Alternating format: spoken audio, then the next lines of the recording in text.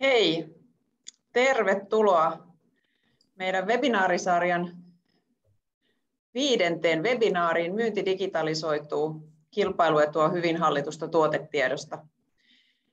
Eli tänä vuonna on järjestetty viisi webinaaria meidän noin vuosi sitten tekemän tämmöisen tutkimuksen pohjalta. Eli silloin vähän vajaa vuosi sitten tutkittiin, mikä on tuotetiedonhallinnan tila Suomessa tällä hetkellä.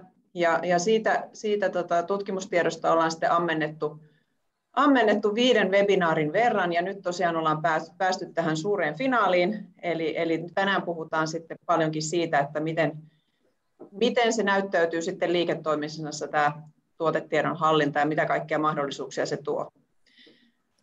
Mä päästän meidän hyvät puhujat tässä ääneen. Sen voin vielä tässä todeta, että lopuksi kaikki te tulette saamaan linkit kaikkiin näihin viiteen webinaariin, niiden webinaaritallenteisiin, eli, eli näihin aikaisempiinkin aiheisiin pääsee vielä palaamaan jälkikäteen.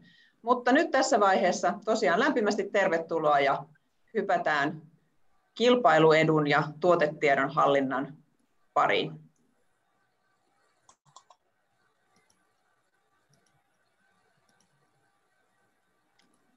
Ja tosiaan meillä Kantterin asiantuntijoina tänään on täällä mukana Patrik ja Ville, niin olkaa hyvä. Patrik, esittäydy vaan. Huomenta kaikille. Patrik Palatson nimi, Kantterissa toimarihommia 12 vuotta takana. Paljon on ollut tuotetiedonhallinnan parissa tekemisissä muun muassa teollisuusyritysten ja kaupan alan yritysten kanssa kehittämishattu päässä pitkän pätkän. Todella, todella hieno webinaari tulossa. Lämpimästi tervetuloa munkin puolesta kaikille. No niin, hyvää huomenta myös mun puolesta. Mittisen Ville on, on mun nimi. Tervehdys vaan, vaan kaikille. Vedän Kantterin palveluliiketoimintaa ja, ja tota, semmoinen 15 vuotta taustaa liikkeiden konsultoinnin hommista ja sitten myös ää, asiakkuuden hoidon myynnin ja erilaisten ää, projektitöiden tuota, parista eri toimialoilta. Ja tällä hetkellä tosiaan kantterilla ja, ja tuota, vastaa meidän asiakasrajapinnan tekemisestä ja sitten myös asiantuntijakonsultointipalveluista. Tervetuloa. Ja Kantterin lisäksi meillä on sitten itse tutkimuksen toteuttajan vastakajun asiantuntija Katariina. Hyvää huomenta kaikille. Tosiaan Tenusen Katariina ja päässyt olemaan mukana tässä Kanterin matkalla tutkimassa tuotetiedonhallinnan nykytilaa Suomessa ja nyt sitten purautumaan niihin tuloksiin vähän eri näkökulmista tässä vuoden aikana. Ja niin kuin Minna sanoi, niin tänään lähdetään sitten vielä sinne niin kuin kilpailukyvyn näkökulmasta ja vähän tämmöisestä niin kuin strategisesta näkökulmasta liikkeelle ja pureudutaan tuloksiin vielä siitä, siitä näkökulmasta. Itsellä on pitkä tausta konsultoinnista ja valmentamisesta ja tutkimuksesta ja, ja tosiaankin paljon teen töitä tiedon hyödyntämisen kanssa ja, ja tosiaan kilpailukyvyn ja kasvun rakentamisen parissa. Eli hyvin mielenkiintoisia teemoja me tullaan tänäänkin näiden asioiden pohjalta sitten käymään läpi. Ja yritys on tosiaan vastakaiko, mistä itse tuun, tuun tähän tilaisuuteen.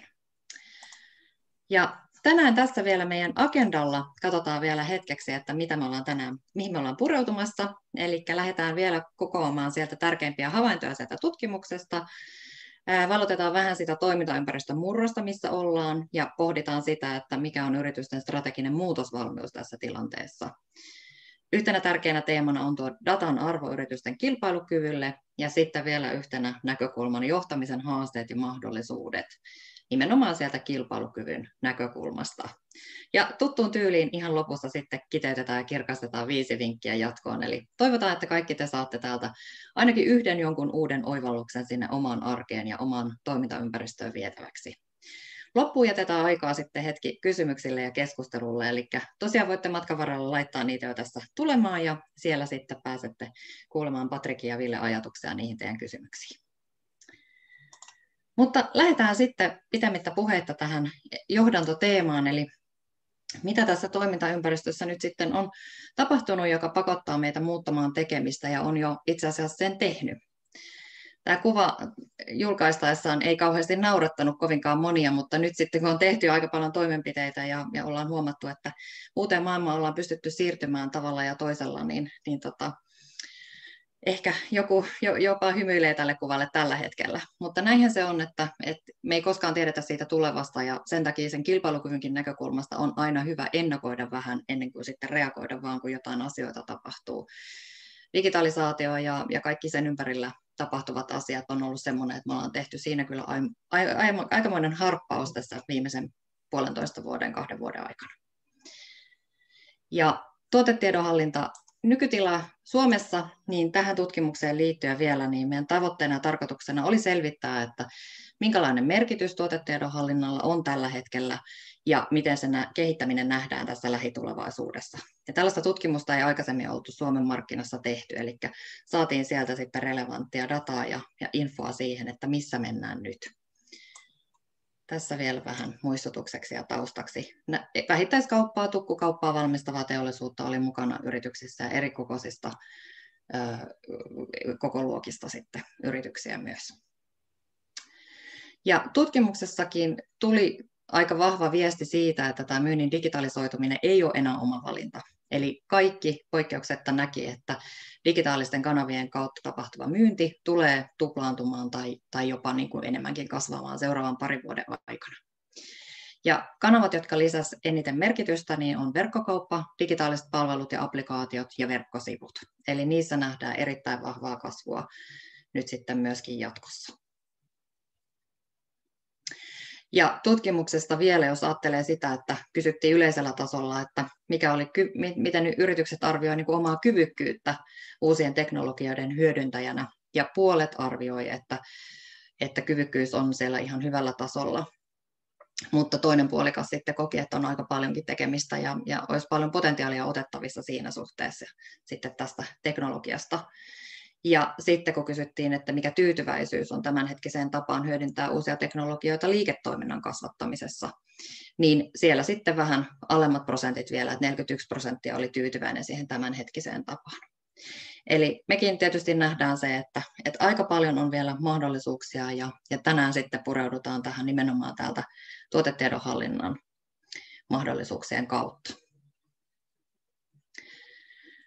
Tämä on aika mielenkiintoinen kysymys, mikä on yrityksen strateginen muutosvalmius. Ja nyt jos me mietitään niin kuin yrityksen strategioita, niin lähes kaikilta sieltä löytyy se kannattava kasvu. Mutta nyt oikeastaan kysymys sitten Patrikille ja Villelle, että miten te näette tämän tuotetiedon hallinnan, kuinka strateginen rooli sillä on, on niin kuin yrityksissä, millaisena se nähdään niin kuin strategisesta näkökulmasta? No se on erittäin hyvä, hyvä kysymys ja, ja, ja tota, notaan, että yrityskohtaiset erot voi tietysti olla tosi isoja, mutta meidän kokemuksen mukaan niin keskimäärin sitä ei nähdä niin kuin riittävän strategisena kysymyksenä tai teemana.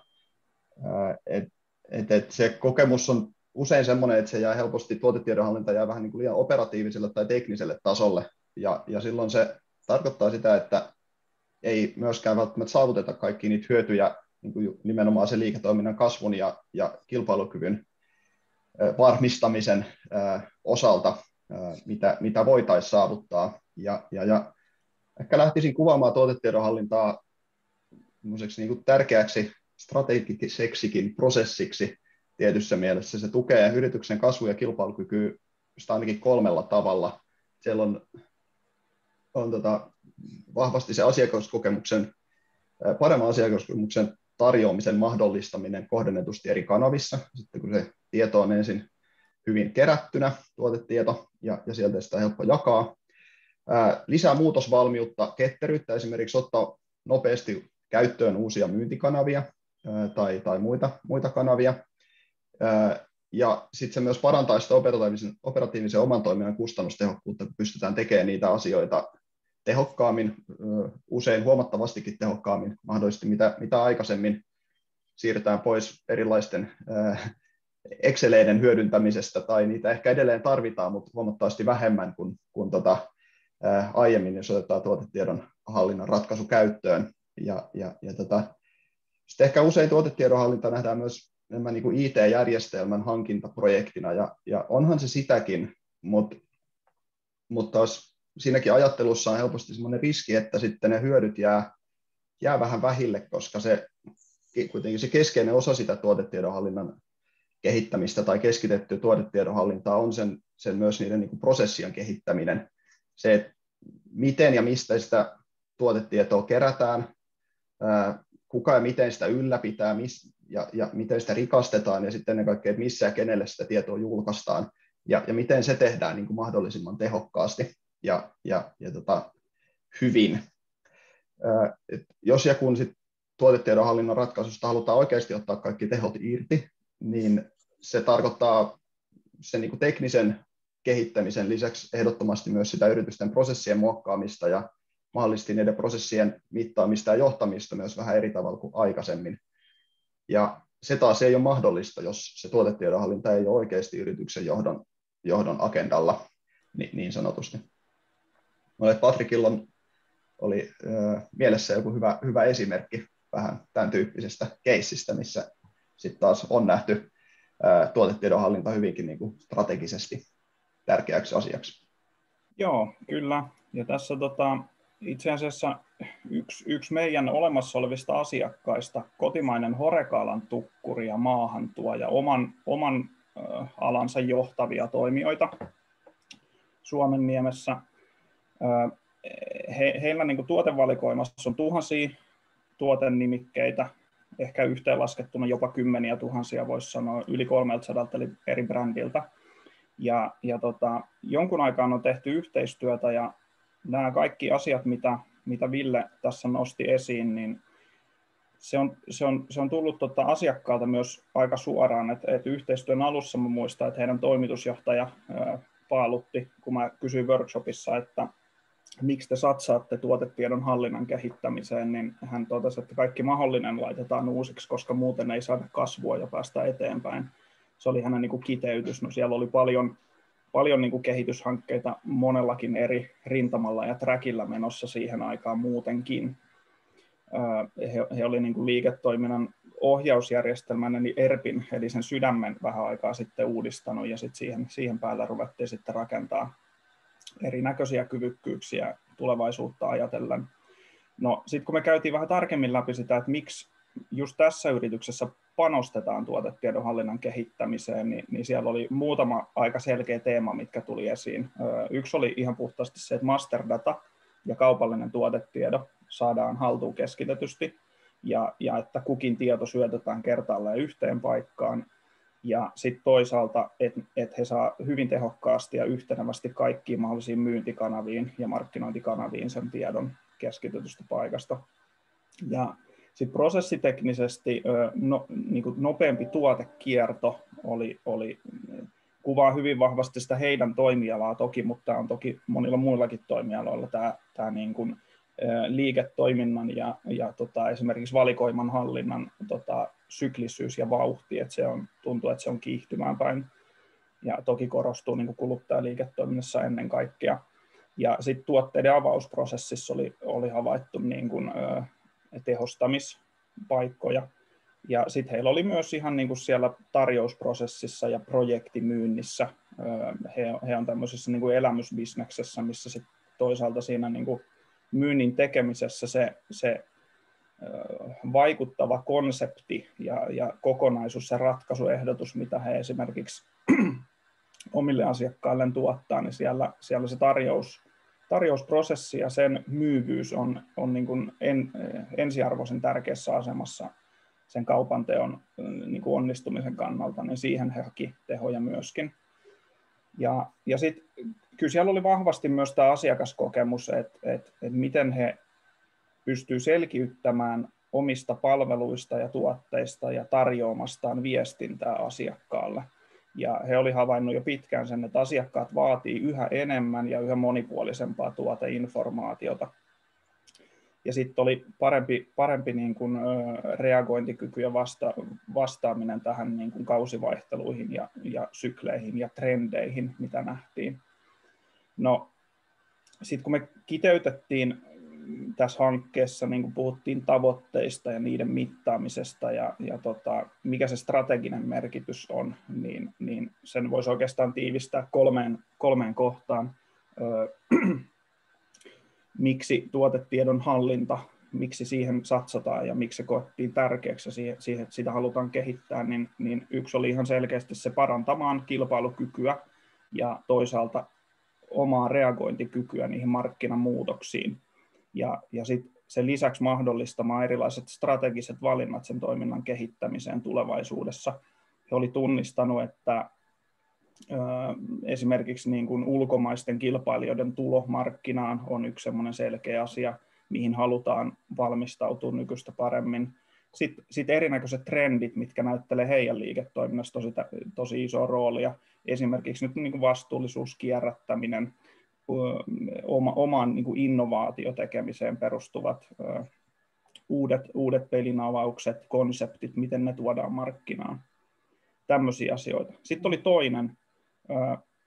Yksinkertaisuudessaan haluttiin parantaa työntekijäkokemusta, että et on selkeät prosessit, selkeät työkalut, jotka, jotka on niin kuin helppo ja mukava käyttää siinä arjessa, niin se oli yksi semmoinen selkeä tekijä.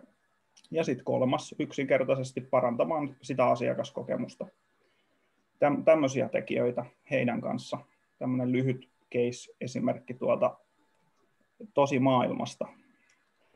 Joo. Ehkä ihan nopeasti, jos voi tuohon vielä, Patrick mainitsi, että tässä kyseisessä tapauksessa niin he olivat, olivat tosiaan äh, laittamassa kaikkea uusiksi tai räjäyttämässä kaikkea, niin se ehkä sille lohdutuksen sanaksi, että se ei välttämättä aina ole kuitenkaan se, mitä tarvitsee tehdä, että välillä pärjätään myös niin kuin pienemmillä ala muutoksilla siihen esimerkiksi omiin prosesseihin, että se ei välttämättä tarkoita, että, että tehtäisiin tehtäisiin kaikkea eräällä tavalla uusiksi, mutta et, et, et, et, et sitten kuitenkin joitain muutoksia lähes aina kuitenkin pitää tehdä ja, ja varmistaa, että ne myös, myös menee käytäntöön ja, ja jää niin kuin pysyviksi toimintatavoiksi, jotta sitten keskitytystä tuotetiedonhallinnasta saadaan tehot irti. Kyllä, joo. Kyllä, ja tähän me ollaan törmätty aika paljon tässä niin kuin tutkimuksenkin kautta, että, että lähdetäänkö pienellä liikkeelle tai kuinka isosti tehdään. Hei, tuosta poimin Patrik sun uh, case-esimerkistä sanoit, että lähtökohta oli, että parantamaan kilpailukykyä ja niin kuin vastaamaan markkinan muutoksiin, niin miten te näette sen, että kuinka paljon tätä niin kuin tuotetiedonhallinnan kehittämistä niin kuin nimenomaan strategisesta näkökulmasta lähtee sillä tavalla liikkeelle, että tapahtuu joku muutos tai mullistus, on niin kuin pakko lähteä liikkeelle, versus sitten se, että, että itse ennakoivasti jo lähdetään tekemään asioita ennen kuin muutoksia tapahtuu? Vastasit jo osittain omaan kysymykseen.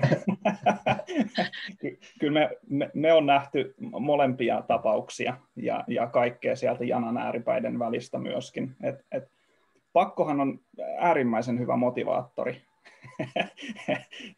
et sit, sit jo, joissain yrityksissä niin se, se pakko on sit se, missä herätään. Se toimii herätysliikkeenä, impulssina, triggerinä. Et nyt, nyt on pakko tehdä jotain toisin kuin mitä olemme aikaisemmin tehneet. Sitten sit on niitä, niitä siellä toisessa ääripäässä, missä ehkä on vähän semmoinen niin kuin, mm, uteliaampi kulttuuri kokeiluun enemmän nojaava, missä, missä ehkä niin kuin keskimäärin, no en mä tiedä, itse asiassa mun, mun kokemusten mukaan tämä ei korreloi edes yrityksen koon kanssa suoranaisesti.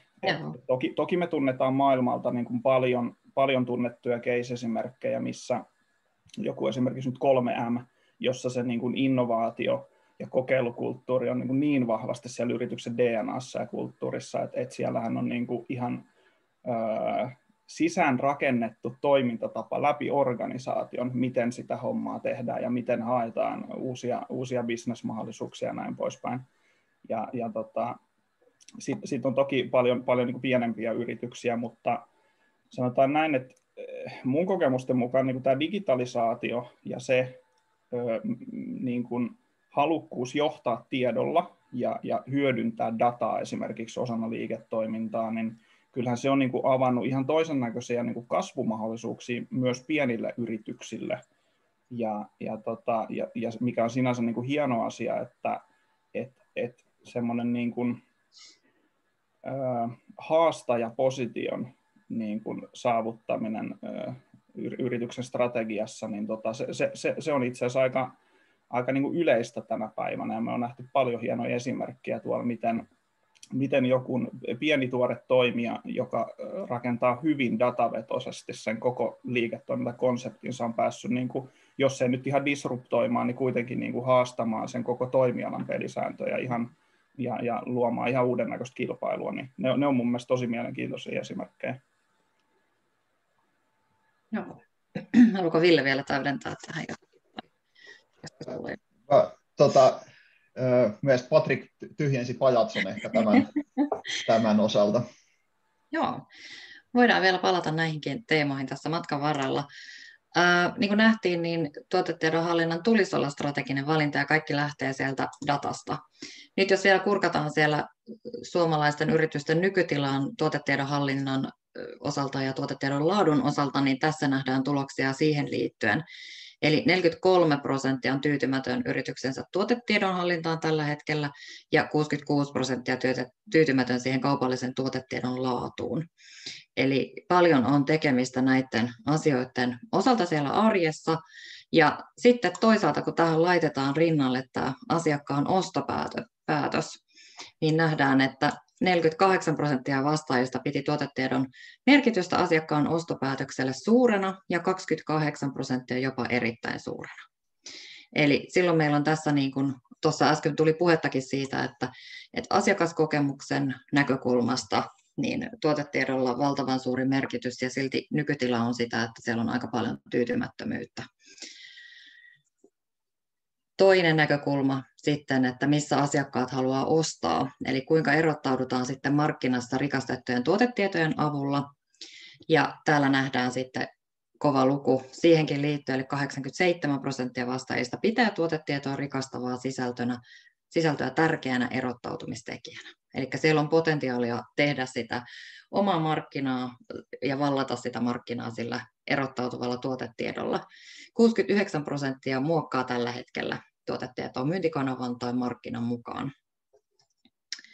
Ja tähän liittyen myös sitten pohdittavaksi se, että mikä se tiedon saatavuus, kattavuus ja houkuttelevuus on tällä hetkellä sieltä asiakkaan näkökulmasta.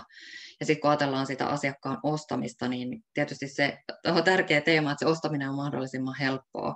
Nykyaikana infoa ja mahdollisuuksia ja, ja houkuttelevia niin kuin tuote esillepanoja ja tämmöisiä, mitä tulee puhelimeenkin tuossa, kun katsoo vaikka ihan mitä tahansa, niin on niin paljon. Eli silloin meidän pitää pystyä sieltä klousaamaan sitä asiakkaan huomiota ja, ja saada sitä kauppaa sen tuotetiedonkin avulla, että me pystytään helpottamaan sitä ostamista. Tämä me nähdään tosi paljon, kun tehdään tällaisia niin kuin asiakkaan ostokäyttäytymiseen liittyviä tutkimuksia. Eli suuntaus on, on niin kuin tosi nopeasti, se huomioarvo karkaa sieltä. Tai sitten se, että jos kokee, että ei saa tarpeeksi tietoa, niin sitten oletkin hetken, hetken päästä kilpailijan sivulla katsomassa sitä vaikka samaa tuotetta.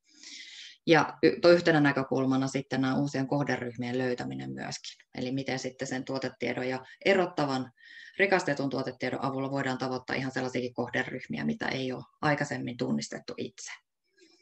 Eli tutkimuksenkin mukaan aika merkittävästä asiasta kyse ja, ja tota, myöskin niin kuin tämä markkinamurros ja ostokäyttäytymisen muutos niin on sellaisia tekijöitä, jotka kannattaa huomioida siellä omassakin liiketoiminnassa ja bisneksessä, kun suunnitelmia ja strategioita tekee.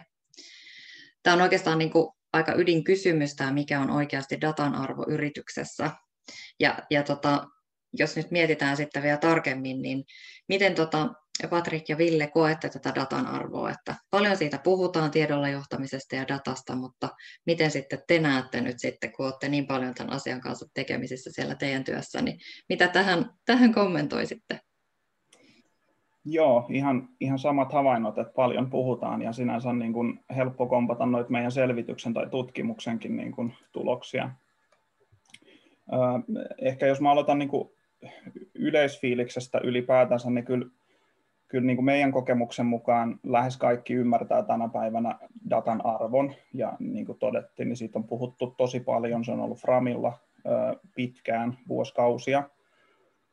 Sitten jos, sit jos mietitään esimerkiksi nyt ihan niin kuin perustietojen niin kuin masterdatan hallintaa, niin, niin siinähän puhutaan kuitenkin jo niin kuin vuosikymmeniä olemassa olevista asioista, mitä, mitä on, niin kuin, mihin on ollut, ollut toimintatapoja, mitä on sitten eri organisaatioissa vähän, vähän niin kuin firmasta riippuen ja markkinasta riippuen otettu käyttöön. No sitten sit niinku, jos miettii niin kuin mitkä tuulet puhaltaa ja mitä, mitä niin kuin isompia trendejä, niin mä mainitsin tosiaan jo aikaisemmin sen digitalisaation, niin kyllähän se on niin kuin tuonut mukanaan sen, että sen datan arvo ja, ja myöskin se määrä, että millä vauhdilla sitä dataa syntyy ja synnytetään tänä päivänä, niin onhan, on, onhan niin kuin tilanne niin kuin ponnahtanut ihan eri mittakaavaan. Ja, ja sitten no, voisi myös ajatella, että keneltäkään tuskin huomaamatta, että maailman arvokkaimmat firmat on tänä päivänä joko osin tai täysin niin kuin dataliiketoiminnassa tietyllä tavalla. Ja niin kuin sanoin aikaisemmin, niin löytyy, löytyy lukuisia esimerkkejä myös ö, yrityksistä, jotka on sillä datakyvykkyydellä disruptoineet omaa toimialaansa tai, tai pystyneet synnyttämään kokonaan uuden position esimerkiksi arvoketjussa. Ja olla, ollaan me nähty sitäkin, että, että se data on mullistanut ja se tie, tiedon niin kuin hallinta ja sen, sen hyödyntäminen ja johtaminen on, on mullistanut moni perinteisiä toimialoja myös tässä viime vuosina yhtenä konkreettina esimerkkinä voisi vois nyt mainita esimerkiksi kiinteistö- ja rakennusala, jossa, jossa tuntuu, tuntuu niin kuin varsinainen digitsunami puhaltavan tällä, tällä hetkellä. Ää, datassahan on kivaa se, että bitit skaalautuu aika paljon paremmin kuin esimerkiksi kiinteistön seinät. Et se on, se on niin kuin yksi, yksi asia, mikä on hyvä muistaa. Ja, ja mistä päästään ehkä Aasinsillan kautta semmoiseen mielenkiintoiseen ajatukseen, mikä osui silmään. Nyt en muista enää, kuka suuri ajattelija oli tuolla verkon syövereissä, mutta nosti esiin semmoisen ajatuksen, että, että pitäisikö datan olla tulevaisuudessa itse asiassa yrityksen taseessa jonkunnäköisenä omaisuuslajina, aineettomana pääomana, mikä on mun mielestä erittäin mielenkiintoinen ja relevantti heitto. Sen sijaan, että siellä on niitä seiniä ja okei, okay, jossain määrin sinne voidaan viedä brändiin liittyvää aineetonta arvoa, muuta, muuta niin kuin IPR, mutta, mutta koska kaikki tietää sen datan arvon niin kuin reaalimaailmassa jo tänä päivänä, niin, niin se on erittäin mielenkiintoinen ajatus, että millä aikajänteellä se rupeaa ihan oikeasti niin kuin näyttelee roolia, tai siis sehän näyttelee jo roolia yrityksen niin kuin arvonmuodostuksessa, mutta, mutta miten se menisi niin kuin esimerkiksi sinne, sinne tota, talousraportteihin asti ja, ja tulisi niin kuin vielä läpinäkyvämmäksi tietyllä tavalla. Sitten ehkä niin kuin semmoinen ajatus vielä, kun se arvo on tärkeää ja, ja tavallaan sitä ei tarvitse kyseenalaistaa, niin, niin se, missä me nähdään paljon petrattavaa monissa firmoissa, on sen datan laadun jatkuvasta huolehtimisesta ja niistä käytännöistä. Et se on, se on niinku semmoinen, missä mä peräänkuuluttaisin tämän, tämän päivän ja webinaarin teemankin mukaisesti sitä niinku strategisen tason suhtautumista, että otetaan, suhtaudutaan siihen niinku sillä asian vaativalla vakavuudella. Ja sit, sit siinä ollaan nähty myös aika isoja, isoja tota, eroja yritysten niin kuin ylimmän johdon ö, parissa, että et ehkä ne niin kuin näkemykset edelleen vaihtelee jonkun verran. Et, et siellä esimerkiksi nyt toimari, toimari joko, joko se ymmärtää sen asian tai sitten se ei ymmärrä tai sitten se on alkanut ymmärtää, niin kyllä se, kyllä se niin kuin sitä vaatii, että ne asiat sitten oikeasti etenee organisaatiossa on se, että se ylinjohto ymmärtää sen, sen tota, datan arvon ja hyödyn sen liiketoiminnan osana ja kehittämisessä ja nimenomaan strategisella tasolla. No sitten ehkä, ehkä vielä yksi nopea nosto, kun, kun mietitään niin puhtaasti tuotetiedonhallinnan kontekstia. Yksi mun suosikkisiteerauksista on, on tota, IKH Juhamatin toteamus joskus, kun haastateltiin heitä, että miksi he panostaa tuotetiedon hallinnan ja tuotetiedon kehittämiseen, niin hän, hän kiteytti tämmöisen, että tuotetiedon hallinta on heille kuin pankki, jonne jokainen rikastusdata tallennetaan sekä nykyisiä että tulevia asiakastarpeita varten. Se oli mun mielestä aika hyvin, hyvin niin kuin nähty ja tietyllä lailla niin kuin yksi, jos, jos haluaa niin selvittää tai asemoida itteensä ja miettiä sitä tiekarttaa, että mitä meidän pitäisi meidän organisaatiossa seuraavaksi tehdä ja missä me itse asiassa mennään tällä hetkellä, niin siihenhän on sit monia, monia niin mekanismeja tehdä ja esimerkiksi tämmöinen niin kypsyystasojen käyttäminen on yksi, mitä voi hyödyntää.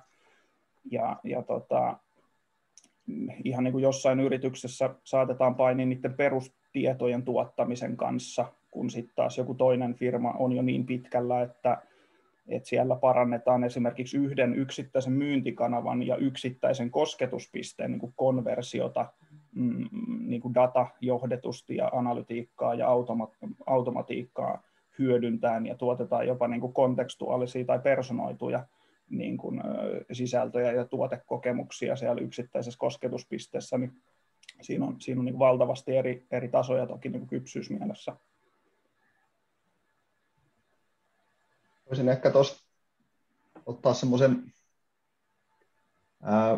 vähän niin kuin eri näkökulman tietysti mielestä on samaan kysymykseen, että, että, että no mikä on oikeasti datan arvo yrityksessä, ää, niin kääntää sitä kysymystä tuossa vähän, vähän niin päin, että mikä data oikeasti on arvokasta yritykselle. Et niin kuin Patrick sanoi, niin ää, pula ei varmastikaan ole siitä niin kuin tiedon määrästä, että sitä on jo sieltä niin kuin mahdollisesti vuosikymmenten tai ehkä jossain tapauksessa vuosisatojen takaa, ja, ja, ja tota, sitä tulee ennennäkemättömät määrät ää, niin kuin jatkuvasti lisää ää, eri sekä ulko, ulkoa että sisältä niin sanotusti, ja, ja tota, sitten kuitenkin sen arvo ei jakaudu tasan, ja, ja tota, kaikki tieto ei ole yhtä, yhtä arvokasta, ja niinpä yrityksissä olisi hyvä käydä, ja monessa yrityksissä toki on, on niin kuin käytykin sitä keskustelua, mutta, mutta tota, ehkä laajemminkin olisi hyvä keskustella siitä, ja, ja niin kuin, että et mikä tieto on meille arvokasta niiden meidän liiketoiminnan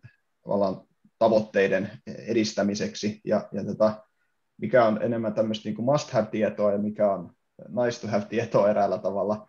Ja sama pätee myös niin kuin tuotetiedon hallintaan, että, että mikä tieto aidosti on esimerkiksi millekin asiakassegmentille tärkeää, mikä on missäkin kanavassa tärkeää. Totta kai näitä asioita, kun yleensä käsitellään esimerkiksi tuotetiedonhallinnan käyttöönottoprojekti, niin järjestelmän käyttöönottoprojektin yhteydessä tai sitten sen jälkeen osana sitä, sitä arkea, mutta mut sen kysymyksen äärelle on hyvä palata säännöllisesti, koska sit voi helposti käydä niin, että kun meillä on tavallaan äh, tietopankki rakennettu ja sitten sitä ryhdytään niin kuin ylläpitämään ja täydentämään, että ei pääse syntymään ehkä semmoista myöskään niin kuin, tehottomuutta tietysti mielessä sitä kautta, että me ruvetaan niin kuin itse tarkoituksenomaisesti keräämään kaikenlaista tietoa sinne, mikä, mikä sitten pitkässä juoksussa vähän niin kuin ehkä rämettää sitä tietoa omalta osaltaan. Et, et, et aina palattaisiin säännöllisesti siihen, että mikä tieto meille nyt oikeasti on kriittistä, mitä me voidaan ehkä varastoida johonkin tulevia tarkoituksia varten, mikä ei ole ehkä nyt siinä ihan niin kuin fokuksessa tällä hetkellä. Joo, tosi mielenkiintoinen, pakko tarttua tuohonkin, että, että mikä data on oikeasti arvokasta ja vielä sieltä niin kuin asiakkaalle arvokasta. Et liian Nimenomaan. paljon nähdään sitä, että jos, jos niin kuin yrityksessä mietitään itse, että tämä on varmaan tärkeää ja, ja niin kuin tehdään tosi paljon toimenpiteitä sen asiakaskokemuksenkin suhteen itse miettiä, mutta ei kysytä oikeasti asiakkailta.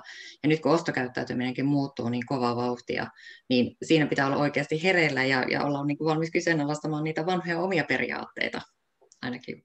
Kyllä siis eri, erittäin hyvä nosto Villeltä ja nyt mä rupesin reflektoimaan omassa päässäni sitä, että miten esimerkiksi meidän asiantuntija tai konsultointi tämän aiheen tiimoilta on esimerkiksi kymmenen vuoden aikana niin kuin muuttunut. Mm. Jos, jos mä vähän karrikoin, niin kymmenen vuotta sitten mehän, mehän niin kuin yritettiin tehdä niin kuin tosi pitkää listaa esimerkiksi niistä tuoteattribuuteista asiakkaan kanssa. Että mikä on se maksimaalinen datasetti, mitä te nyt jossain tilanteessa tulette tarviimaan sitten, niin kyllä se on niin kuin kymmenes vuodessa mennyt enemmän siihen suuntaan, että asiakas oksentaa sen pitkällistä workshopissa ja sitten me ruvetaan kyseenalaistaa sitä, että kai te ymmärrätte, että tähän liittyy se ylläpitotyö ja kuka tämän tiedon syöttää ja kuka tästä vastaa sitten pitkässä juoksussa, niin yleensä sitten siinä pyritäänkin itse asiassa jopa niin kuin, niin kuin minimum viable äh, datasettiin mm. kuin siihen niin kuin superpitkään listaan. Joo, just näin. Joo. Jatketaan sitten ja matkaa tässä meidän webinaarissa. Tuosta todetaan, todetaan vielä niin kuin tavallaan tuosta keskustelusta yhteenvetona kilpailukyvyn parantamisessa tuotetiedonhallinta on selkeästi mahdollisuus tai este. Eli on paljon, olette nähneet niitä tilanteita ja on nähty myös tuota tutkimuksen kautta, että tilanne on tämän kaltainen. Sitten jos katsotaan vähän, että mitä maailmalla tapahtuu lähivuosina, että miltä globaalit PIM-markkinat näyttää, niin ihan selkeästi siellä on valtavaa kasvua tulossa laajasti globaalistikin. Ja voimakkaasti kasvaa verkkokauppaliiketoiminta on yksi ajuri siihen. Ja sitten toisaalta myös tämä tar- ta, niin kasvava tarve ja, ja niin kuin pakottava tarve tarjota entistä parempia asiakaskokemuksia.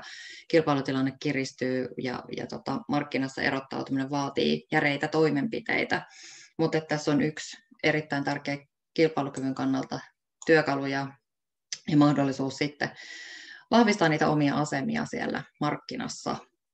Ja tämä nähdään myös täällä Suomen markkinassa, eli kun kysyttiin tätä, että kuinka kriittisenä menestystekijänä nähdään keskitetty tuotetiedonhallinta tällä hetkellä, niin kyllä siellä niin 84 prosenttia vastaajista piti sitä erittäin tärkeänä kriittisenä menestystekijänä tai tärkeänä. Ja sitten tuossa rinnalla edelleen se, että asiakkaan ostopäätökselle se on äärettömän tärkeässä roolissa se tuotetieto, tuotetiedon laatu, tuotetiedon rikastaminen, erottautuminen markkinassa. Miksi tuotetiedonhallintaa ei johdeta kunnolla? Tämmöinen havainto tuli sieltä tutkimuksesta kautta linjan. Me ei edes suoraan kysytty niin kuin ihan tätä, tätä, että mikä se tyytyväisyys siihen tuotetiedonhallintaan tällä hetkellä on. Tämä on tullut sieltä avointen kysymysten kautta ja siitä, analyysistä, että mitä tulee kehittää eniten yhtenä teemana. Johtamiseen liittyen siellä nousi kolme keskeistä kulmakiveä tältä tutkimuksen kautta. Eli tämä organisaation asenne ja ymmärrys ihan ensimmäisenä. Me ollaan tässäkin nyt kuultu esimerkkienkin kautta ja, ja tässä keskustelussa monta kertaa viitattu siihen, että minkälainen strateginen rooli sillä tuotetiedon hallinnalla ja tiedolla on siellä organisaatiossa ja miten sitoutunut johto on siihen, että, että data on arvokasta, sen päivittäminen on arvokasta työtä ja että se on yksi rakennuspalikka sinne kilpailukyvyn rakentamiseen. Eli tämmöinen selkeä viesti tuli sieltä nykytilan analyysistä. Yksi konkreettinen asia, että taloudellisia hyötyjä ei ole esimerkiksi käyty läpi, eli ei ymmärretä sitä, että miksi asioita tehdään tai miksi tähän panostetaan. Että tavallaan se, että mitä hyötyä sillä ollaan hakemassa se yrityksen liiketoiminnan kasvun ja menestyksen näkökulmasta. Ja sitten just tämä yhdistetty sinne arjen työhön, että miksi asioita tehdään tai miksi mun pitää just tehdä näin ja näin, niin ei nähdä sitä isossa kuvassa sitä omaa roolia. Toinen keskeinen teema oli tämä organisointi ja vastuut. Eli tilanne oli tällä hetkellä se, että 40 prosenttia tutkituista yrityksistä niin vastasi, että heillä on jaettu vastuu. Ja siellä tuli vähän sellaista kommenttia, että jaettu vastuu eli ei kenenkään vastuu. Ja kellään ei ollut päävastuuta, jolloin se asettaa niin organisaatio aika haastavaan tilanteeseen. Et siellä on eri toiminnoissa vähän erityyppisiä toimintamalleja ja, ja, ja, ja vastuita, ja, ja sitten se näkyy myöskin sitten lopputilanteessa.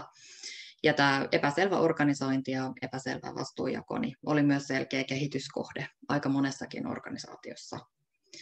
Ja sitten vielä nämä toimintamallit ja prosessit. Eli kun ei ole yhtenäisiä tavoitteita ennen kaikkea ja sitten niitä käytäntöjä, että miten asioita tehdään ja niitä, niitä ei sitten myöskään seurattu kunnolla, niin se loi myös sitten organisaation näkökulmasta aika paljon tehottomuutta. Eli aika merkittävästä asiasta, kun ajattelee tuota tutkimustakin, niin noustaa johtaminen. Ja nyt kun tänään puhutaan vielä siitä niin kuin strategisesta näkökulmasta, niin ollaan aika merkittävän asian äärellä. Tässä näette vielä ihan sitaatteja nostettuna sieltä tutkimuksesta, että miltä se arki tämän asian suhteen sitten näyttää. Eli on kokemusta siitä, että on vähän liian suppea näkemys siitä merkityksestä kokonaisuudessaan yrityksessä. Ja silloin, kun ei ole kokonaiskuvaa ja selkeää suuntaa, niin on ehkä sitten sellainen tunne, että on tempoilevaa ja, ja tota, ei ole johdonmukaista se oma toiminta.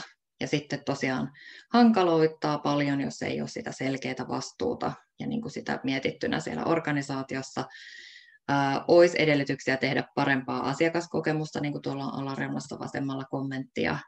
Ja sitten tällainen niin aika lähtökohtainenkin niin kuin tämmöinen asenteeseen liittyvä, että jos on arvostuksia ja kiinnostuksen puutetta, niin silloin on vaikea odottaa mitään valtavia tuloksiakaan, koska se, mitä arvostetaan, mitä seurataan ja mitataan, niin sitähän myöskin lähtee organisaatiossa tapahtumaan. Eli tämmöisiä kommentteja on noussut täältä tutkimuksesta, ja tota, ehkä nyt kysymys teidänkin suuntaan, kun, kun olette tutkimustuloksiinkin tarkasti pureutunut ja lukenut niitä kommentteja, että mikä se syy on, että, että tuotetiedon hallintaa ei johdeta kunnolla tai että se ei pääse siihen strategiseen rooliin, kun, kun sille kuuluisi? Se on erittäin hyvä kysymys ja varmaan yhtä vastausta ei ole, mutta mun mielestä tuossa nämä vastaukset, mitä tässä on, tai, tai kommentit, mitä on nostettu esiin, niin siellä on ehkä niiden taustalta löytyy osa, osa syistä, että just vaikka se, että ei ihan aidosti, mitä puhuttiin aikaisemminkin, että se tuotetiedon hallintaan, hallinta ja, ja sen johtaminen ei välttämättä ole siellä ylemmän johdon niin strategisella agendalla tai, tai sitten organisaatiossa ei ole semmoista laajempaa ymmärrystä sen niin kuin tuotetiedon hallinnan merkityksestä tietyssä mielessä liiketoiminnalle tai, tai sille organisaatiolle.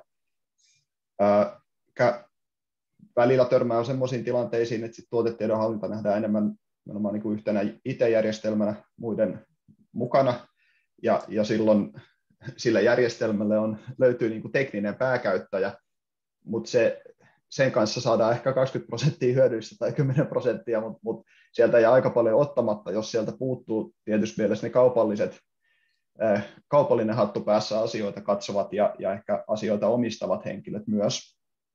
Et, et, et, se on, se, se on semmoinen yksi tärkeä, tärkeä juttu. Asenteet tuossa mainittiinkin, mutta mut sitten mietin myös, että tuo tuotetiedonhallinta saattaa, saatetaan niinku, niinku tieto ehkä ylipäätään niin kokee vähän semmoiseksi hankalaksi kokonaisuudeksi tietysti mielessä ottaa haltuun tai lähestyä, koska se lonkeroituu vähän joka paikkaan, se on semmoinen todella läpileikkaava teema, ja sille ei välttämättä löydy niin kuin selkeää omistajaa. Et on joitain yrityksiä, missä saattaa olla, olla niin kuin chief data officer-tyyppinen hahmo, hahmo tai muu rooli, jonka sit vastuulla on miettiä ehkä tietoa tai digitalisaatiota tai tämän tyyppisiä asioita niin kuin organisaatiorajat ylittävästi ää, sisäisesti ja viedä asioita eteenpäin, mutta et, et, et ehkä se, että miten lähtee liikkeelle tai miten tätä nyt kannattaisi hahmottaa, niin se voi olla ainakin kun tuntuu haastavalta aluksi.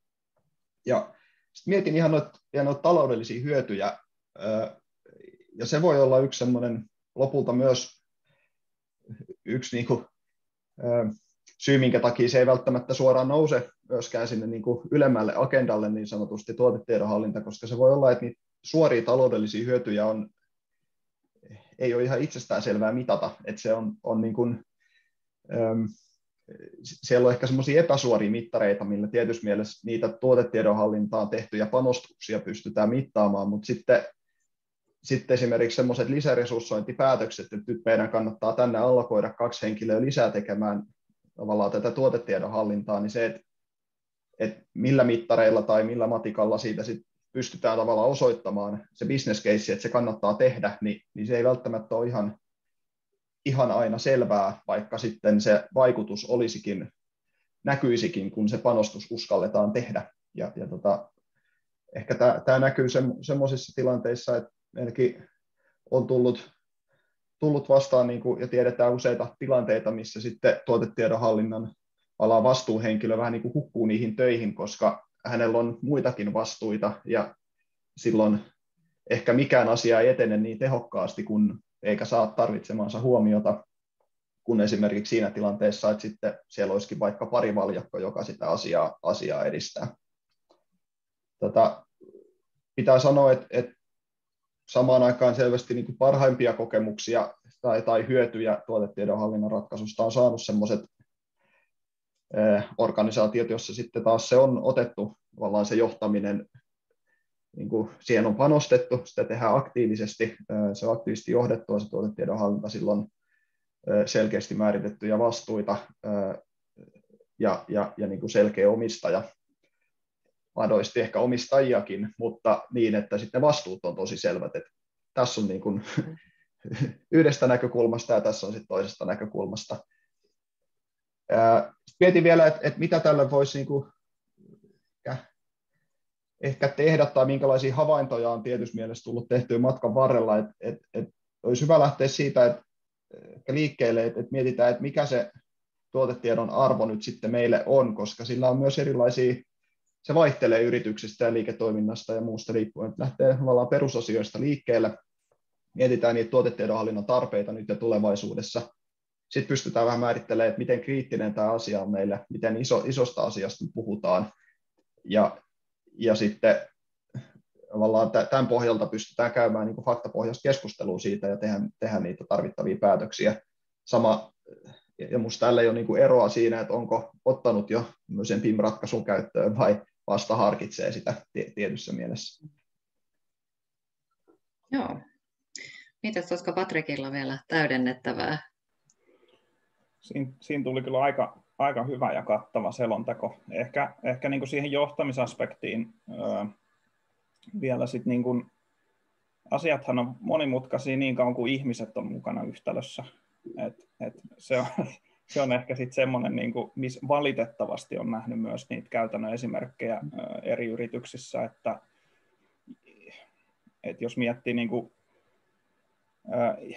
jatkuva tehostaminen, ja, ja Suomikin on aika tehokkuusorientoitunut niin kuin maa ja markkina, niin, niin tietyllä lailla niin kuin, kyllä mä niin kuin yhtenä asiana nostasin sen niin kuin ihmisten johtamisen ja myös sen, että on oikeat niin kuin ihmiset oikeilla paikoilla ja että heidän luontaiset niin kuin, taipumukset ja soft skillit niin kuin, ja, ja, ja ominaisuudet henkilötasolla istuu niihin työtehtäviin, mihin heitä sitten ollaan vastuuttamassa, niin mä en niin kuin väheksyisi sen merkitystä kokonaisuudessa. Se on toki niin kuin yksi, yksi pieni osa palapelissä, mutta, mutta se, on niin kuin, se, se voi näytellä yllättävänkin isoa roolia sit, sit kaiken sen niin kuin ylemmän tason vastuiden ja omistajuuksien niin kuin, äh, rinnalla tai, tai niin kuin kyljessä. Ihan totta. Saako tuohon kommentoida? Tota, toi johtaminen ja ihmisten johtaminen, mitä nostat esille ja mikä tuli siellä keisissäkin sulla nostit, että se on se henkilöstökokemus oli siellä se yksi mm. tekijä, minkä takia asioita tehdään, niin entistä enemmän tulee maailmalta tällä hetkellä tutkimustuloksia siitä, että henkilöstökokemus nousee jossain vaiheessa jopa sen asiakaskokemuksen edelle tavallaan kriittisenä menestystekijänä. Et sen takia puhutaan kyllä niin äärimmäisen tärkeästä asiasta tällä hetkellä. Mutta jatka vaan, pakko oli väli kommentoida. Joo, ei, Ehkä... ei, niin, sano vaan Ville. Niin, meinasin tuohon ehkä tarttua tuohon Katarinan kommenttiin, että, että uskon, että hyvä johtaminen tulee olemaan niin kuin erottautumistekijä niin kuin voittavien ja häviävien tavallaan yritysten tai pärjäävien ja vähemmän hyvin pärjäävien yritysten välillä tietysti mielessä. Se, ne, ne voittaa, jos niin kuin osataan johtaa hyvin. Mm. Joo, kyllä.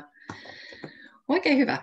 Hei, nyt aletaan tiivistämään meidän tämän aamupäivän webinaarin antia ja, ja tota ideoita ja nyt sitten käydään läpi vielä viisi vinkkiä jatkoon. Eli mitä nostasitte nyt sitten yrityksen kilpailukyvyn näkökulmasta niitä tärkeitä teemoja ja asioita?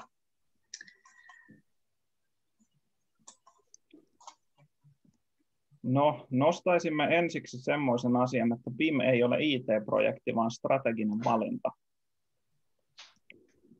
Ja, ja tota, tämä, var, tämä varmaan tämä webinaari on selittänyt tätä aika paljon. Me puhuttiin myymisen mahdollistamisesta, ostamisen helpottamisesta, työntekijäkokemuksesta ja asiakaskokemuksesta, niin kaikki nämä huomioiden, niin kannustamme rohkeasti tarkistamaan, että, että miten se tuotetiedonhallinta kokonaisuudessa näyttäytyy siellä yrityksen strategiassa. Sitten Toinen nosto. Data on merkittävä tekijä yrityksen arvonmuodostuksessa, siitäkin puhuttiin. Tuossa on tuommoinen alibulletti, että kaikki panostaa sen suojelemiseen kyberuhkilta, mutta kuinka paljon yrityksessä itse asiassa panostetaan sen hallintaan, se on semmoinen niin kuin kysymys ja ajatusleikki, mikä kannattaa, kannattaa käydä läpi omassa, omassa tota organisaatiossa. Sitten jos mennään sinne myös niin kuin tavallaan niin kuin teknisen kyvykkyyden ja, ja, ja niin kuin datakyvykkyyden johtamisen ja, ja tota, kehittämisen alueelle, niin, ky, niin kuin me on, me on nähnyt, nähty aika vahvasti se niin kuin, ä, arkkitehtuurin merkitys myöskin, että, että se on niin kuin palvelee liiketoimintaa ja on, on niin kuin moderni ja mukautuva sen liiketoimintatarpeen mukaisesti ja tämä on ehkä semmoinen, semmoinen asia, että et, et tuntuu, että Suomessakin aika moni firma niin kuin ymmärtää jo sen tärkeyden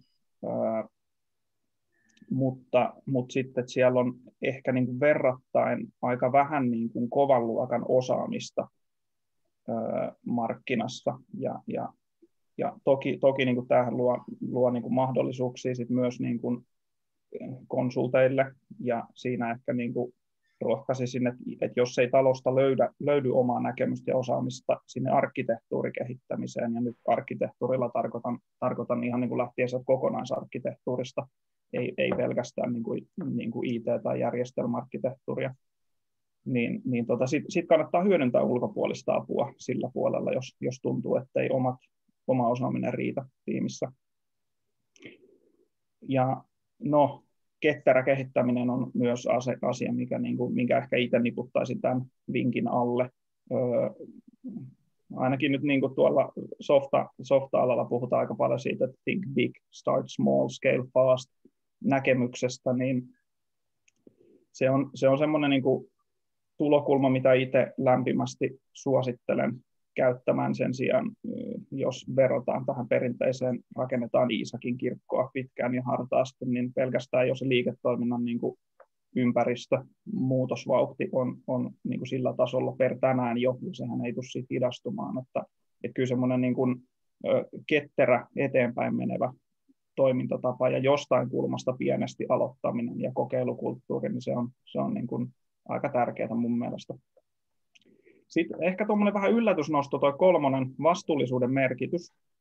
Siitä on puhuttu paljon viime aikoina tosi kovassa nosteessa syystäkin. Ja, ja ehkä nyt niin kuin, jos rajaan tarkastelu länsimaihin tälleen niin kuin karusti, niin, niin, niin me, me uskotaan, että se merkitys jatkaa kasvuaan ja, ja sitten kannustetaan lämpimästi huomioimaan se myös tuoteviestinnässä ja, ja asiakaskommunikoinnissa.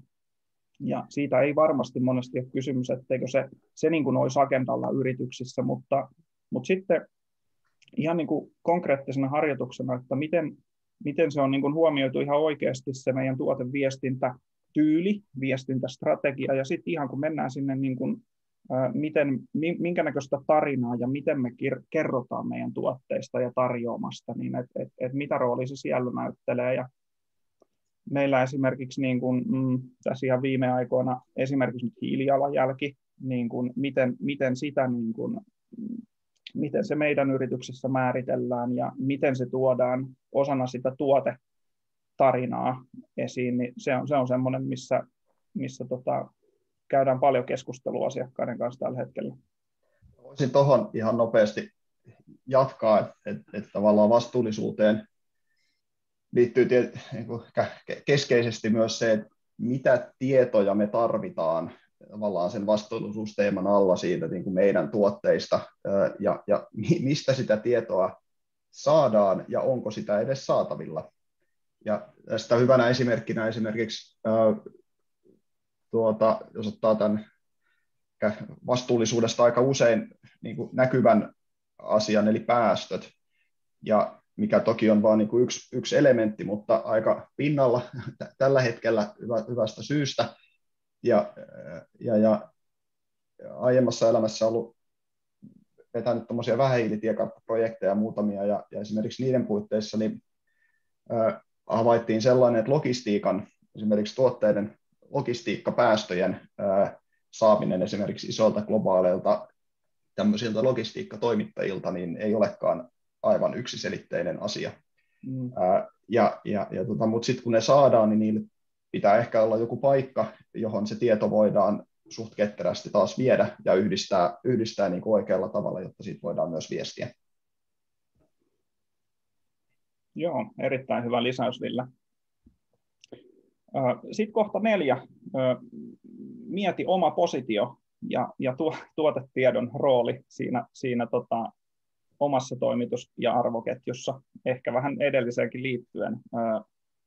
Me ollaan nähty mielenkiintoisia esimerkkejä tästäkin, mutta aikataulusyistä ei ole hirveästi aikaa tarinoida, mutta, tota, mutta yksi nosto esimerkiksi kaupan alalta, jos miettii, että muutamia vuosia sitten vaikka meidän kaupan alan kaksi, kaksi jättiläistä, niin hyvin vahvasti pisti tavaran toimittajat tekemään tekemään sen tuotetiedon tuottamisen ja oikeellisuuden ja vastuutti heidät. No sitten sit kun kaikki rupesi kaupan alalla olemaan ikään kuin samalla viivalla niin kuin asiakkaan silmissä tietojensa osalta ja sitten ruvetaan kehittämään hakukoneen näkyvyyttä ja, ja muita asioita, millä, millä saadaan huomioon ja erottuvuutta asiakkaiden niin kuin silmissä, niin sitten yhtäkkiä sillä tuotesisällöllä rupeakin olemaan aika, aika iso niin kuin merkitys. Ja, ja tota, nyt esimerkiksi niin kuin sekä Kesko että S-ryhmä on, on niin kuin todella isosti rekrytoinut tässä viime, viime vuosien aikana niin kuin ihan tuotetiedon hallintaan niitä tekijöitä ottamaan, ottamaan niin kuin, että siellä on ihan kunnon organisoituminen tuntuisi olevan menossa.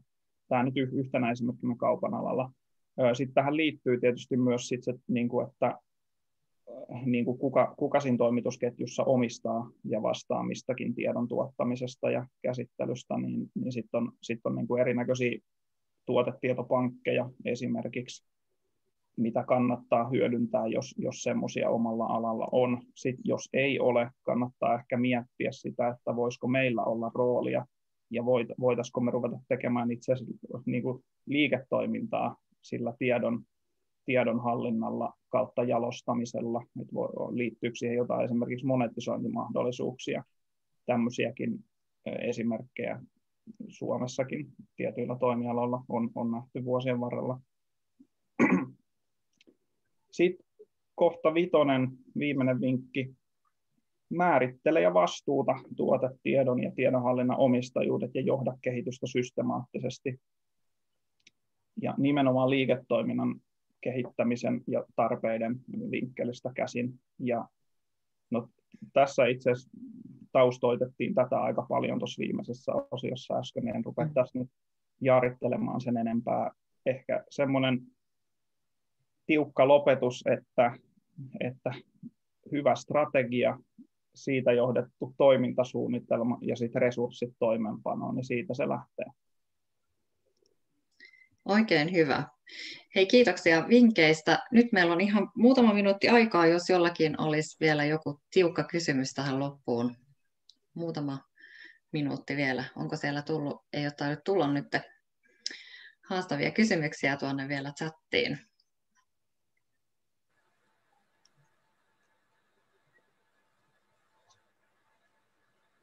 Ellei ole, niin otetaan sitten vielä vähän mitä tästä eteenpäin? Minkälaisia asioita on tulossa nyt vielä lähiaikoina?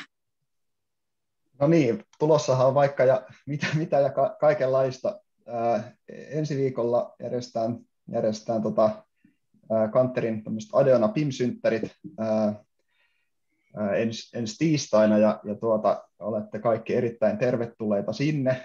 Osa on toivottavasti mukana olijoista saanut siihen jo kutsun ja ehkä ilmoittautunutkin, mutta jos ette ole, niin voitte ja olette kiinnostuneita, niin, niin tota, laittakaa vaikka chatin kautta viesti tai olkaa meihin muuten yhteydessä esimerkiksi Noraan, niin, niin tota, järjestyy sitten sitä kautta ilmoittautuminen. Se on fyysinen äh, tapahtuma tuossa Espoon Otaniemessä meidän äh, konttorilla, ja, ja tota, siellä käydään sitten läpi, läpi äh, tuotetiedonhallinnan ajankohtaisia, ja, ja tuota, voidaan jatkaa siellä keskustelua näistä aiheista ja äh, tuotetiedonhallinnan ihmeellisestä maailmasta. Äh, sitten me järjestetään äh, säännöllisesti tämmöisiä PIM Crash Course-koulutuksia, missä sitten mennään hiukan syvemmälle tuotetiedon hallinnan maailmaan eri, eri näkökulmista. Ja seuraava tämmöinen Crash Course järjestetään toinen, toinen päivä joulukuuta. Se on tuommoinen aamupäiväkoulutus, myös fyysinen sellainen samassa paikassa tuossa tota, eteläisessä Espoossa siinä Tapiola ja Otaniemen kupeessa, missä on meidän toimisto.